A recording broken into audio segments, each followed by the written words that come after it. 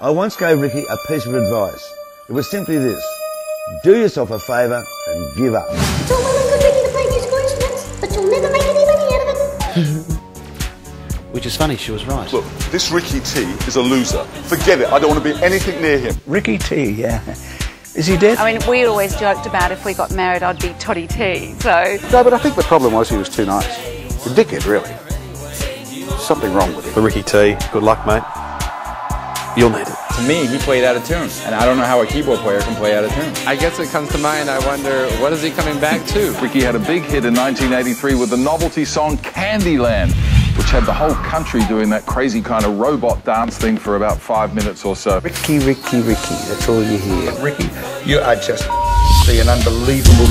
Come into this television station, you come on the show, and then you go and say you. Whoever was in that line, suit. God, I need another gig. They genius. Ricky is the sort of person who gets up at 6 a.m. every morning, regardless of what the time is, so I don't think his punctuality is under question here. But it is- He's still saying we, we haven't heard anything from him lately though. What you gotta give? That gift is in you. You know, you can't really get rid of it. We're in a band called Luscious Attention and the Motivated Biscuits. It was a funny time. It was a strange time.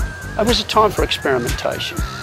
And Ricky was always an experiment. Whitney Houston can come back, no, Michael Jackson can come back. Everybody can come back. All right, mistakes were made. I'm concerned about his health, though. He's been having a lot of health issues, and if he's going to come back, he has to be strong and healthy. Um, hate to get him on tour, and then he hurt himself out there, so I sort of liken him to, um, or Halley's Comet, if you like. You know, a bright star appears in the sky for, for just a moment, and all of a sudden, poof, gone.